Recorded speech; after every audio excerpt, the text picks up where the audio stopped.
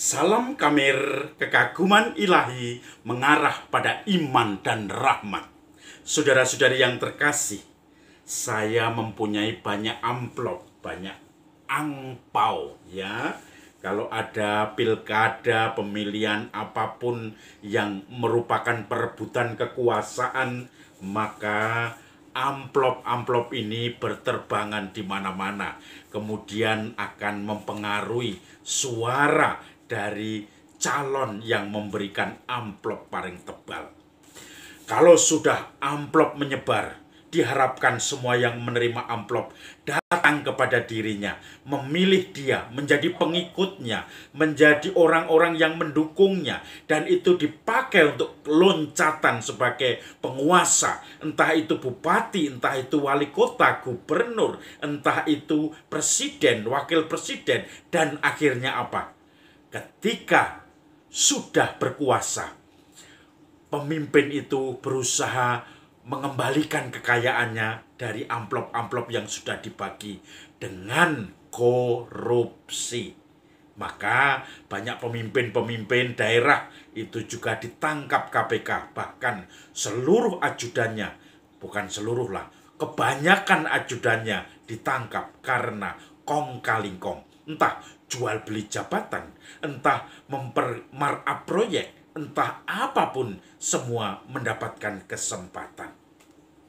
Saudara-saudari yang terkasih, Injil hari ini kita bisa belajar dari Yesus bagaimana Yesus tidak menggunakan kesempatan dari orang-orang yang mengaguminya. Yesus ketika sudah mulai selesai mengajar dari bait Allah dia pun di rumah-rumah ibadat dia ke, pergi ke rumah Simon. Dia menemui ibu Simon yang sakit keras karena demam. Maka Yesus menyembuhkan ibu Simon itu dengan menghardik demamnya. Maka ibu itu kemudian sehat dan bangkit untuk melayani para tamu rombongan Yesus ini. Lalu setelah sore, kemudian petang mulai jalan banyak orang datang menemui Yesus untuk disembuhkan penyakitnya. Keluarga-keluarga membawa sanak saudaranya untuk disembuhkan. Tidak jarang setan-setan yang menyurupi atau merasuki orang-orang itu teriak-teriak, "Engkaulah anak Allah." Tetapi Yesus menghardiknya karena mereka tahu ia adalah Mesias. Lalu ketika siang, Yesus menyepi seorang diri untuk masuk ke kota. Tetapi kemudian banyak orang mencarinya, ingin menahan dia supaya tinggal bersama mereka. Tetapi Yesus mengatakan dengan tegas, "Juga ke kota-kota lain aku harus mewartakan Injil." Maka dia pun pergi ke daerah-daerah lain di Yudea.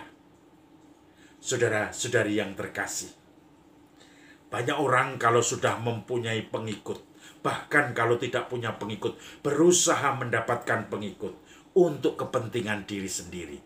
Berapapun ongkos yang di, apa, diharapkan, dia pun ingin supaya semua dibayar dan dia mendapatkan pengikut untuk jabatannya, untuk kekayaannya.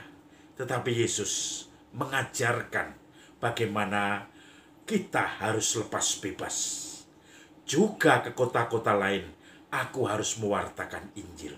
Yang diutamakan adalah perutusan dari Bapa, yaitu mewartakan kabar gembira, bukan ketenaran, bukan diterima oleh banyak masyarakat, bukan lagi juga mendapatkan pujian dan pengikut, tetapi mewartakan kabar gembira kepada semua orang. Maka saudara-saudari yang terkasih, kita bisa juga merenungkan sejauh mana kita sudah menerima, berusaha untuk mewartakan kabar kegembiraan Tuhan lewat pekerjaan kita, profesi kita, lewat hobi kita, kesibukan kita, kerja sampingan kita. Atau kita justru menggunakan semua kegiatan kita hanya untuk mendapatkan pengikut, supaya mereka mendukung saya bila mana diperlukan untuk dukungan itu. Semoga kita selalu murni hati di hadapan Allah. Salam Kamir, kekaguman ilahi mengarah pada iman dan rahmat.